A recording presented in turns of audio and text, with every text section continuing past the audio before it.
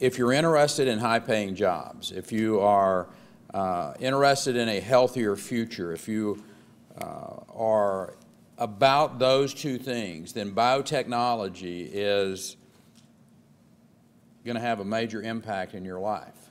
It's a great business community. We work, we're working together. You know, we, uh, we, we understand what the limits of, uh, of uh, the public sector are. Um, they understand what the limits of the private sector are, and we're doing what we can uh, to improve uh, opportunity, expand opportunity for, for everybody. And we see some mutual uh, benefits uh, in that, and I think uh, the Life Sciences Initiative is one example. The biotech area has been one of the most successful areas uh, that we have seen as we come out of this recession.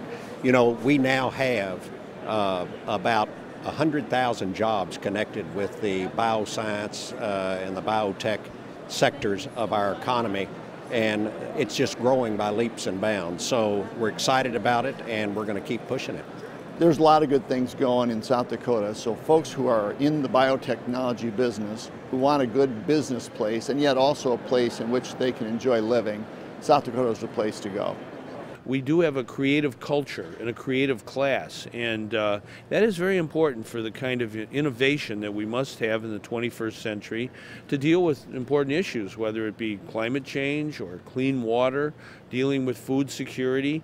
All these are bio issues. Biotechnology uh, has made a world of difference in agriculture. Uh, you know, one of the resources that uh, is becoming more and more scarce is the amount of land that we have, particularly because of development. At the same time, our population is growing, so our farmers have to produce more product on fewer acres of land. So biotechnology actually helps them not only be successful as small business people, but also helps them prosper and helps maintain the family farm in, in many respects. The jobs are critical. Nearly 60,000, as I talked about, 350,000 other kind of ancillary jobs.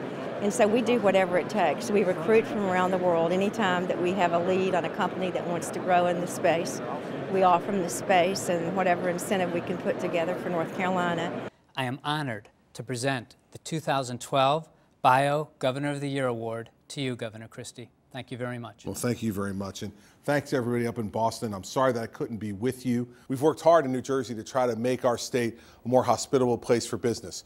An R&D tax credit, 20 new biotech firms starting here in New Jersey, and trying to make sure that our tax environment becomes one that's going to allow all of you to come here in New Jersey and thrive and grow your businesses.